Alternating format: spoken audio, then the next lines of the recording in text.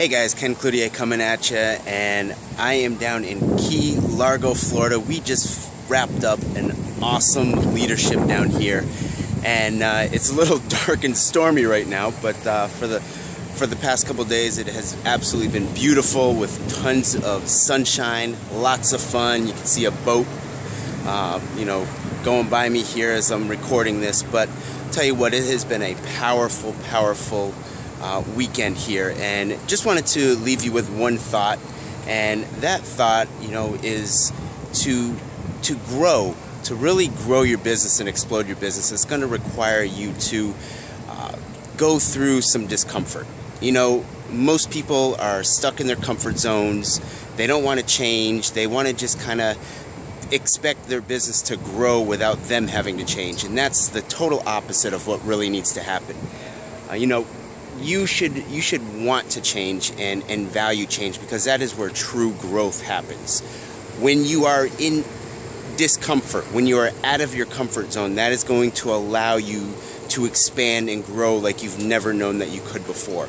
You know, it's kind of like a rubber band. You know, if you stretch a rubber band, it never goes back to the way it used to be. When you stretch a rubber band, it can never go back to the, the tightness it was. It loosens up a little bit and it never is the exact same rubber band as it was in the factory. But when you go ahead and you change, you also are like that rubber band. You're never going to be that same person.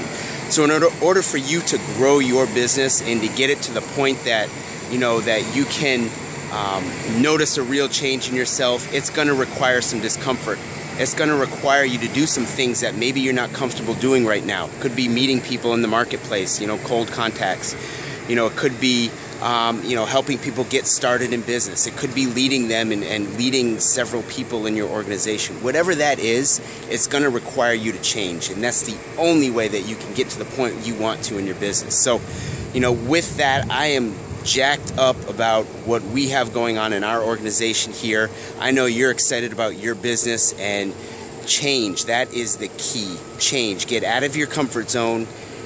Become uncomfortable when you're uncomfortable, that is exactly when you know things are working, things are changing, and you can get excited about that because your future has never been brighter. So, Ken Cloutier coming at you from Key Largo, Florida, where we just wrapped up an awesome leadership with our business team. I'm excited to hear about success stories that you're having. Feel free to drop me a comment based on how you've changed, what you did to grow and change, how you got out of your comfort zone and what it's done for you. Let me know. Give me, drop me a line. Let me know how that's working for you. And uh, as always, uh, go ahead and uh, follow me on my Twitter account, Ken underscore Cloutier, and check out my Facebook. We will talk to you soon from Key Largo, Florida. Over and out. Bye now.